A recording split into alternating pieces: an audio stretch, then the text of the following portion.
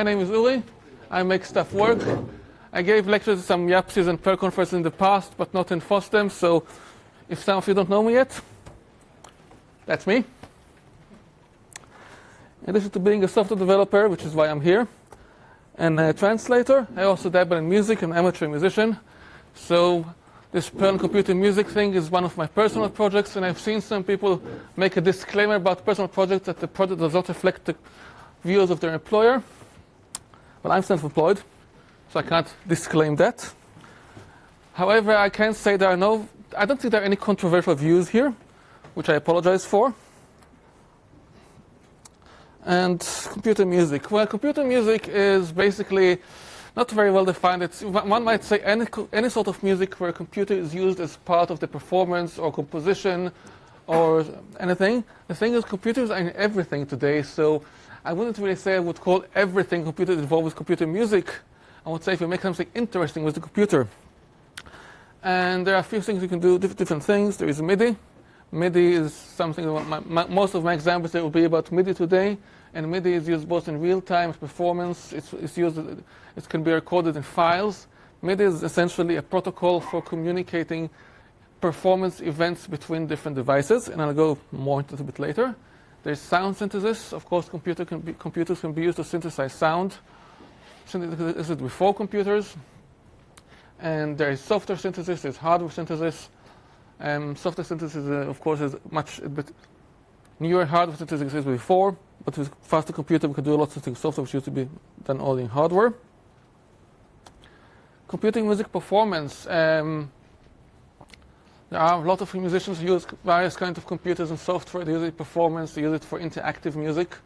Usually it's not fully interactive. Interactive means the computer, whatever the software on the computer, interacts, responds in some way to the musician in real time, and it can hear them. Sometimes it's acoustic, sometimes the performer plays into a microphone, and the computer can figure out the pitch tracker what it's playing and respond to it. Sometimes it's using various uh, electronic instruments, MIDI controllers. I've had a very interesting project when I was studying electroacoustics where we used Arduino and the Arduino, the, the, open, the open source board, the open source hardware. And um, I connected some physical various levers and stuff to the Arduino and this information, this uh, into sensors, and so my physical actions were, tr were translated into messages to the, to the software, and the software created, used that to send controlling messages, some of them MIDI, some of them to other software. I also learned that that project that one should read one subject line before one sends email. When I was building, when I constructing the project, my instructor said, why don't you go, if you want to build something physical, some tangible instrument, tangible controller, just to go to a flea market, get some junk, you know, find some nice centerpiece and build around it. And after I bought it, I took pictures of stuff I, I, I, I bought, and I sent it to the instructor. And originally, I just sent a subject line, here are photos of my junk. Fortunately, I, I reread it before I sent it, and I just put a nice subtitle in that.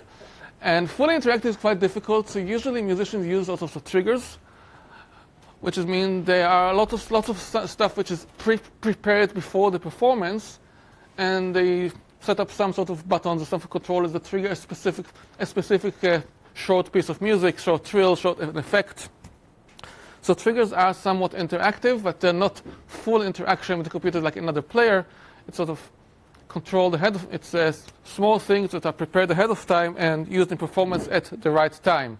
For instance, when I was doing an electroacoustic piece, which is also on YouTube, if you look, on, look my name up, you can find it, there are some of the sounds there are prepared and, and, and synchronized. Some of them I was uh, triggering during the performance and sort of some, uh, some improvisation.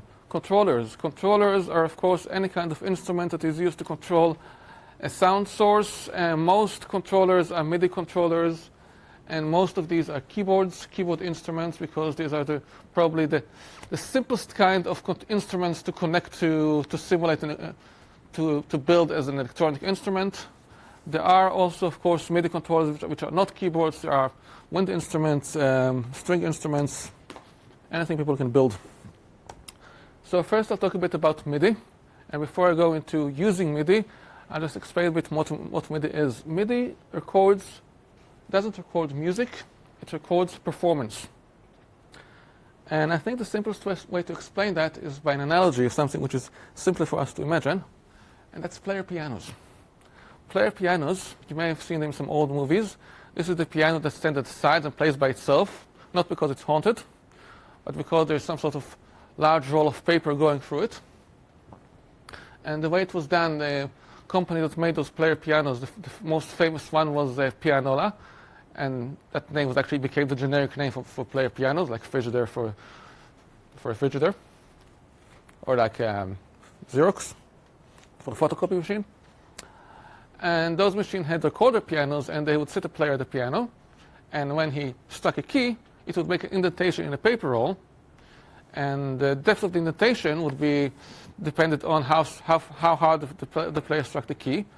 And the roll would go on, and uh, the, the entire performance would be recorded on the roll of paper. Then they would, set, they would set the roll of paper, make lots of copies, send it to other people. And when you ran the roll of paper for a player piano, it would duplicate the performance of the musician. However, because it was a different piano, it had a different sound, different, possibly different tuning. It might have been completely untuned. So it's recording only the performance and not the sound. MIDI works much the same way. Curiously enough, there are lots of piano rolls in various storage spaces around the world. And George Gershwin recorded about 300 piano rolls, and they still exist somewhere. And there are piano rolls enthusiasts who are very enthusiastic about piano rolls the way they're enthusiastic about Perl, who want to convert them to something we can hear today. And there are two ways of doing that. One way is to get a player piano, spend lots of money fixing it up, getting it to a studio, running the, the, the paper roll through it and recording it. Another way is scanning it into a computer using some special scanner and converting it into something like MIDI, for instance. Um, Perl has several, uh, this is actually the next one. Perl has several MIDI models. And just to go through them, I go for a project I've done. And when you start composing, I've done some arrangement and composing. I composed a bit, arranged a bit, you know, like musicians do. So when you start writing a piece, sometimes you start with a motif. A motif is sort of like a short melody, which is probably very recurring through the piece. Sometimes in, in precise it will be precisely duplicated. Often it will be modified a bit. And a number of ways, of course, can be used to, to record this motif into the computer. I can take a keyboard, a MIDI controller, connect the computer and play it. That's one way, and use a sequencer program to, to, record what I do. However, Perl provides us other ways to do it. For instance, one, there's a host of MIDI models used in Perl, and one of them is MIDI Simple. MIDI Simple I would have to say it stands apart from other MIDI models. And that's not a value judgment. It just simply works completely disconnected from all the other MIDI models. It's its own model. It doesn't have anything to do with the other MIDI models. And in fact, it has a lot of drawbacks. It can only handle one track. First, I'll say something about tracks. Um, tracks this is a a term that's coming from old recording uh, technology where had, they had these big reel, reel tapes they record on, they could record on, and, and the recording had recorded on parts of the tape, and you could record one track, and then the next player would, could hear the original recording while playing on the next track, and the, the sounds of the, the recording would be synchronized and all mixed together. And even though now we all record everything, we record everything in digital, it's a very useful concept. So this terminology holds over from the analog age to the digital age. And MIDI Simple, while it's very um, limited in some ways, I like it because it sort of creates a very nice DSL, a music DSL, domain-specific language. And if you know a bit of music and a bit of Perl, you can possibly figure it out. And N simply means note. And the second parameter, well, the first parameter, N is the function parameter, actually. And the first parameter means what length note and have here HN for half note, that's two beats, and and QN, that's a quarter note, that's usually one beat in four quarter music.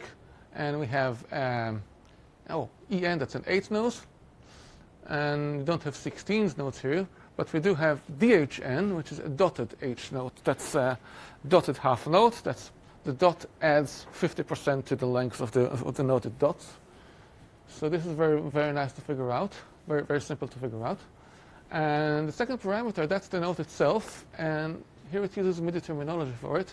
The notes are the American style, you know, you use the alphabet to denote the notes. And the number after the note, that's the octave number in, in MIDI. MIDI gives each octave on the keyboard a number. And G4, that would be the G or Sol on, on the middle on the middle octave, the octave just above the middle C. And you can see the lowercase f there, that's a flat. So this creates this motif which means I decided to start my composition. And this may be time to just, um, I will go back to that. And this is the MIDI file it created. This is the MIDI file it created. And I'm just going to open it with, which is not open here. Opens here. Going to open it with this. Now this is a Rosegarden. It's one of the sequencer pro programs. And once I open it here, whoops, actually I should have mirrored it.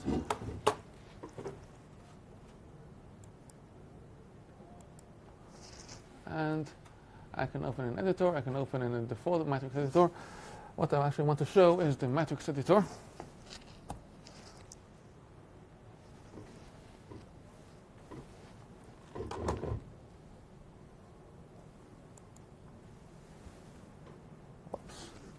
And it's not opening, and we'll just leave it alone for now. Okay, we're just to leave it alone for now.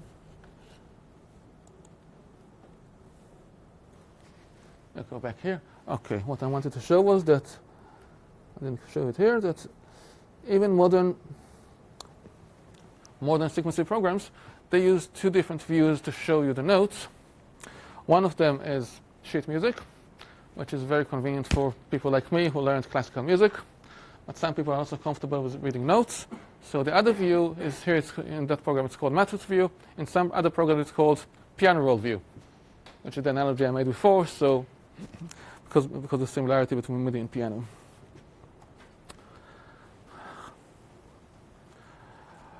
Okay.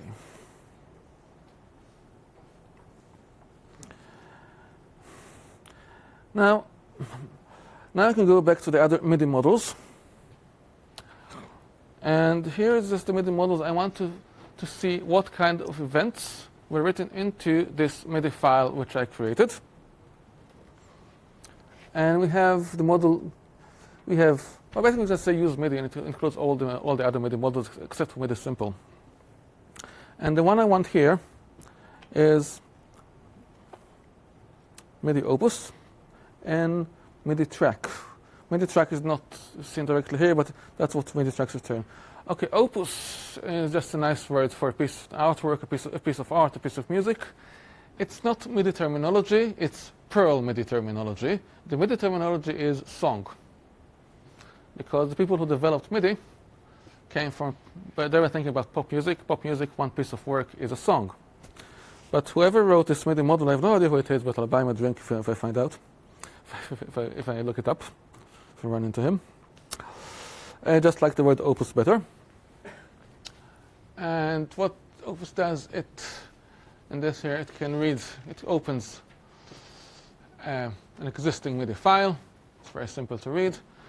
Then I get, read all the tracks into an array, and each track is an object of type MIDI track, which we may see in a later example.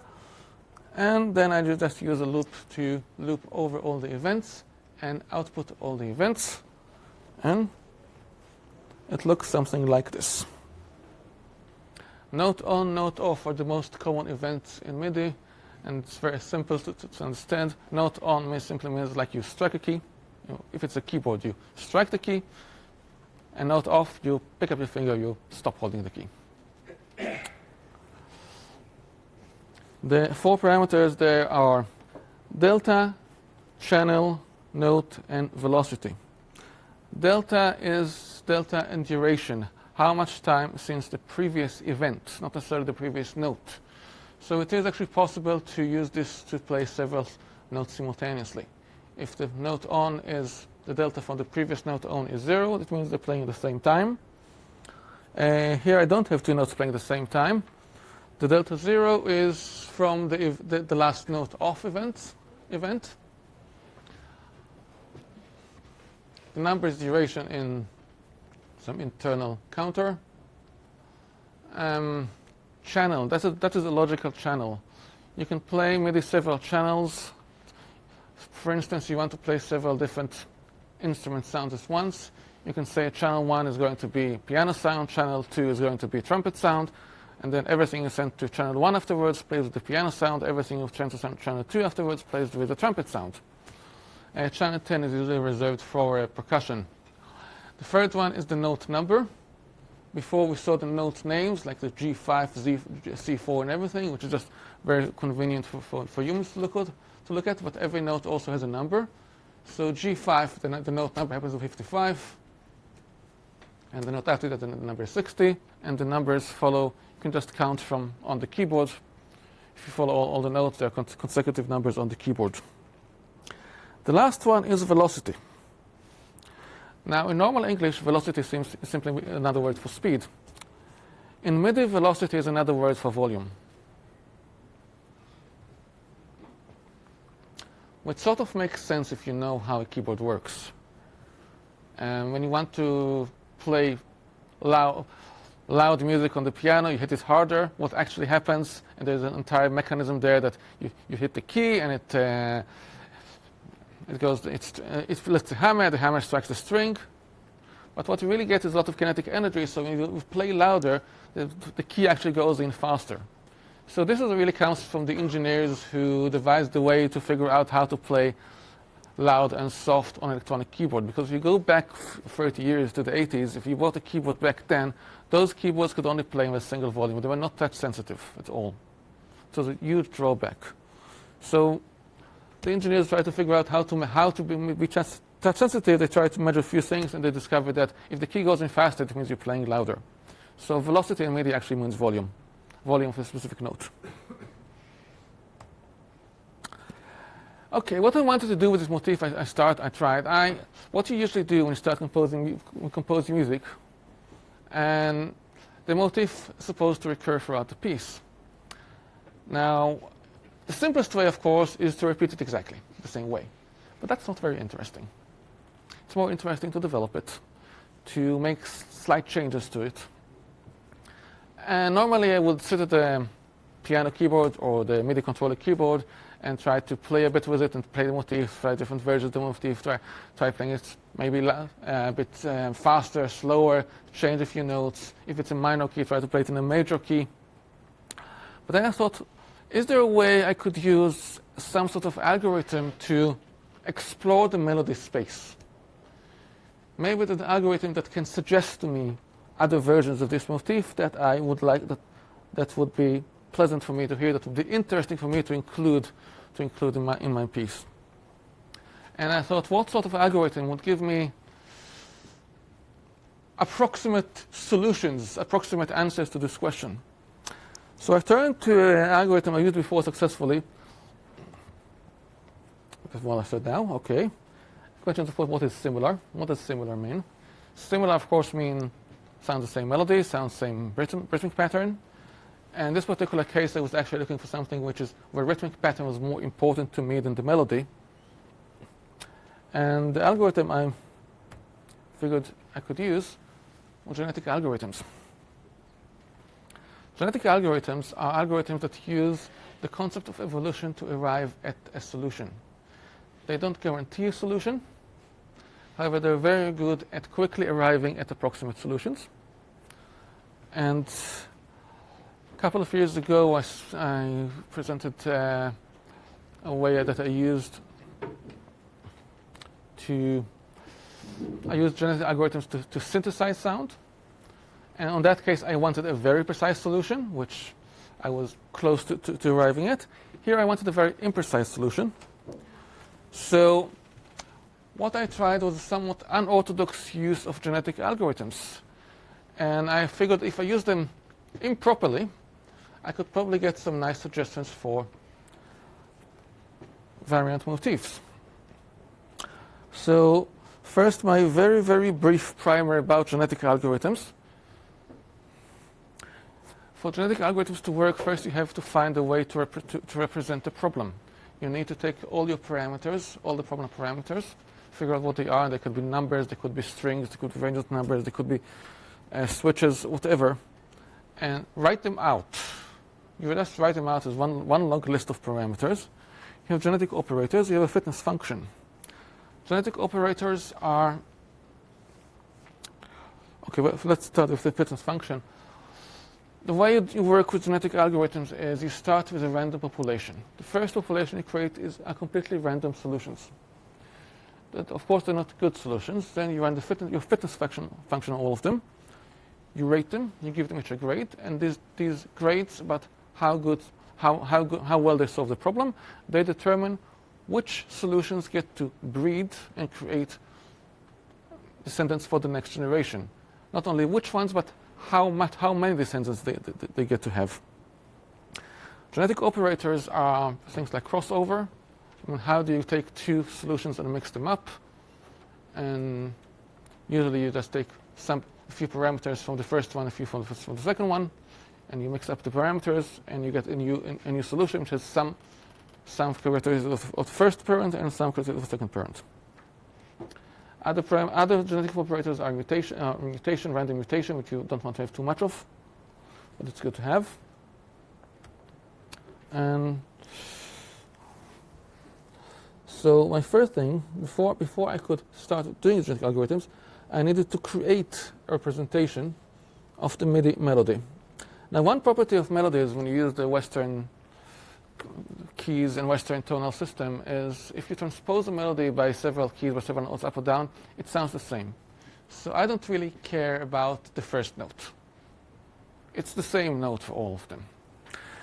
And what I do care about is the durations, because if I have to compare the durations, I have a rhythmic pattern, how the rhythmic pattern is. I care about the intervals between the notes. If I, my melody starts with a note going from G to, to A. That's one tone. That's one tone up. Two keys up. I want I want to record that. Another thing was I figured I can handle strings pretty well and strings things like string similarity. So I decided to encode the melody as a string, where the first where the first character is the, is the duration. Well, the very first note is fixed, so I don't care about it. So the first character of the string is the duration of the first note, because that is a parameter that may be changed. The second is the, the second note, and the, the, the third parameter after that is the duration of the, of the second note, and so on until the end of the string. And just to make things simpler, just use uppercase characters for descending intervals and ascending intervals and lowercase characters for descending intervals. For durations, I said, well, I'm just going to divide everything into 16th notes. So a quarter note would be 4, and a half note would be, would be 8. And use the characters from A to H, from A to the first 16 letters to denote how many 16 notes they have. And the longest note, note I can have is a whole note. So I also limited myself in how long the notes can be. So this code, it just takes the same, same thing we saw before to create the list of notes. And it creates the chromosome this way. The chromosome, that's the term, terminolo terminology used in genetic algorithms. We use a lot of terminology from genetics. And this would be the, my melody encoded as a chromosome for the purpose of the, the fitness function. For the genetic algorithm itself, I used another model I've used before successfully called AI Genetic Pro. It's quite fast, it's got very good performance. It can handle lots of uh, very large populations. Well, I'm doing a time list, not of Okay. And when you start genetic, uh, when you start doing a genetic algorithm with AI Genetic Pro, there are several things you need to give it. First, uh, reference to the fitness function because you, you need to write your own. You need to write your own because the fitness function is specific to the problem you're trying to solve. The rest of the parameters are pretty straightforward.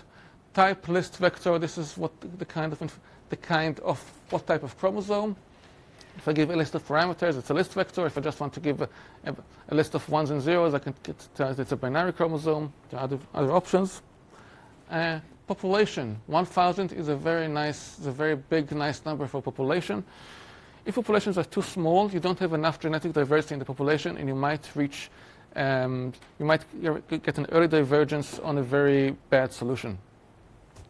So population needs to be large crossover. This is the chance of a crossover. When, How, what is the probability that crossover will happen when two solutions mate? Uh, mutation, this is also a probability. Um, it should be a very low one. If it's zero, then you might miss out on some very good on some very good genetic possibilities, which are not in the population right now. If it's too high, it might actually spoil some good advances that you've made so far. So it should be low. Usually 1%, 2% is, is 0 0.1, 0.2 is all you have. Parents. Unlike biology, you can select the number of parents. Two is fine. Sometimes you can have, you can also have three parents for one, for one solution. Um, selection. Selection is how the selection is being made how are the parents for the next generation are selected. And there are all sorts of different strategies. I'm not getting into them now because that's not the main thrust of the, the talk. Um, this is one of them, roulette distribution. There are also others, there's roulette. And basically it uh, says that instead of determining ahead of time how many descendants each solution will have according to, it, to its uh, rating, determines the probability of, of uh, whether or not it will, it will have more descendants. Descendants, it comes about the same point. Strategy points to this is strategy of how the crossover is made. This is a two-point crossover. Um, the difference between one-point crossover, two-point crossover, one-point crossover, only one point is selected on the chromosome, and then everything bef before that point is switched between the two chromosomes, and it's created a new generation. A two-point crossover, two points are, are, created, and then everything between them is switched between the two chromosomes, and that's and that creates the, the, the, the, new descendant. So everything from the first position to the first crossing point comes from parent 1. Everything from the second crossing point to the first crossing point, second one comes from parent 2. Everything from the second point to the, to the end comes from parent 1 again. Again, what is better? This is a lot of trial and error. Except in this particular, particular situation, I was not concerned, thank you, with precision. In fact, I wanted imprecision. So this was how I started my initialization. This is, this is how I tell uh, the genetic algorithm model what to put in the various, various parameters. As you can see, I have my duration parameter is the first one, and the second one is my interval parameter. My duration parameter is, of course, 1 to the first 16 letters. My interval parameters is lowercase letter, uppercase letters presenting descending and ascending intervals, and 0 is presenting the same note. Okay. And then when I want to start telling it to evolve, just there's the method evolve. The number in parentheses says how many generations. The more generations you have, the longer it takes, and the better results you get. Usually everything under 30, 40 is pretty useless, but um, um, get fittest gets me the n, in this case 40 top candidates the one who got the highest ratings, and the last one just to print them out to, to, uh, to a file, because I want just to keep the chromosomes themselves, to keep, to keep a record of them. Uh, the fitness function, this is really the heart of the matter here. It represents all the things I care about. Well, not all of them, because I cut it halfway, but represents, represents the things I care about when I want to mutate, what, what I consider to be similar. So I have the descriptions, which I created some, yes, I created them as another function. Descriptions of the, of the two melodies, of the original melody and the candidate melody. And one description, I break it up before I, before I do this into intervals and durations. Durations, I get the rhythmic patterns. From the intervals, I get the melody, whether it's going up, down, sideways, whatever. And I compare them and I have the intervals with the melody. I have the inverted melody, which is exactly inverted melody, exactly the opposite of my melody. If my melody goes da da dum, the inverted melody goes da da dum. It's exactly the opposite. It's useful. Inverted melodies are used a lot in fugues more than in uh, other types of music. And I'm saying if it's similar to inverted melody, it could also be a very nice variant motif for me to use, but it gets a lower score than the action, than similarity to melody itself. Durations similar to durations also get it, and I'm not sure it made it in, in here. Oh yes, actually it did. Maybe next time. To check similarity between strings, I just use a combination of models that do this. LCS, LCCS, LCSS, the, the largest common substring, which is nice but not good enough for the particular. Yes, not not quite good enough here because a, a string might be modified in the middle, but the bigger substring is still quite similar. So I also use trigrams and called something called string similarity. Trigrams are very useful to find similarity between text. They're used in translation memory when you need to find a similar sentence to the one you have now. The entire text is broken up into sequences of three characters. It's not from 1, 2, 3, 3 4, 5, 6. It's 1, 2, the first, second, third, and the second, third, fourth, etc. And then they, call, they, they count it. And if the count is similar between two texts, then the texts are probably similar. In fact, if you take a text in, in certain language and you create trigrams, then you create a random text from those trigrams, someone who does not know the language might think it's, it, it's that original language. It looks that similar. And string similarity is another model which uses another algorithm for similarity. And okay, we have five minutes. And any questions? Just quick questions about this. Yes, please. Could you please demo something? Yeah, I really want to hear it. Yes, I want to hear it too, but unfortunately, I don't have. Uh, I'm told I don't have sound here. So I will. It will be on my site. It will be on my website. All of this. There already is one posting about Windows on site without sound, and mm, I was playing it. Yes, and my site it's um, brooks.co.il, bruck.co.il. So there's one where the poster without sound, and I'll add the demos there. And I'll add the stuff about synthesis, which we didn't even get to, to also. And probably there within a couple of weeks, two to 52 weeks at the most, you know, that's usual stuff. Any other questions except for demos, I... Yes, please. Yeah, I have one uh, question uh, concerning uh, Perl applications in general are, are single-threaded. Say I want to do something uh, with uh, MIDI music or make or for Yes. example, I want people from the internet to uh, be able to make music uh, on, on, my machine for whatever reason. But that would mean I would have to make music and do other stuff at the same time. Uh, would it have any impact on the responsiveness or the delay in uh, uh, all the uh, MIDI handling? It probably would, but if you do that, I probably wouldn't use Perl for that. So would it be really noticeable, or would everything be fast enough uh, to just not care at all? Mm, sorry? Uh, as in, would, um, can I do MIDI handling Yeah. and do other stuff at the same time? Well, first of all, you, pr- you probably do it all the time because your phone can play MIDI and your computer can play MIDI, MIDI files, and they do it all the time. Okay, So, yeah. that's good. Okay. Any other questions? If I have time. Thank you.